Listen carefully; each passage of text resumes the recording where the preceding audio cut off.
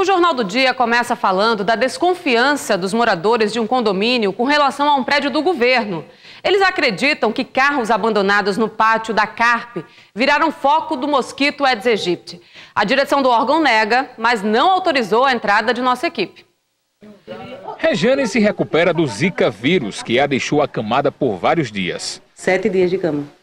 Tá? O que eu não tive muito foi a coceira, mas a, assim, as dores eu senti ao máximo. Já minha filha está com zika, ela foi para o colégio hoje, mas ela está com zika e ela está toda se coçando. A pele está um ralo. A professora olha pela janela e já supõe de onde o mosquito possa ter saído. Daqui de cima, avistamos dois carros abandonados e cobertos por mato. Ela desconfia que dentro dos carros velhos possa existir criadouros. A síndica do condomínio e o filho mais novo também foram vítimas do mosquito. Bianca está preocupada com as 190 famílias que moram aqui. Os agentes de endemia vieram aqui, eles foram lá no órgão e, e pediu para fazer a limpeza e retirada dos carros. Mas até agora já se passaram...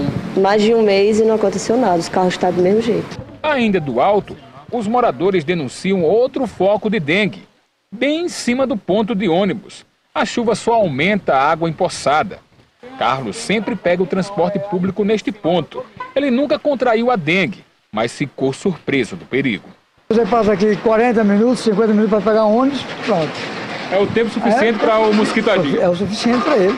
Os carros estão abandonados no pátio da Companhia Alagoana de Recursos Humanos e Patrimônio, a CARP, que pertence ao governo do estado. Nossa equipe de reportagem não pôde ter acesso ao local onde os carros estão cobertos pelo mato, mas o diretor administrativo garante que aqui não existe foco de dengue. O diretor disse que não é mato, e sim pés de abóbora, que foram plantados por um funcionário.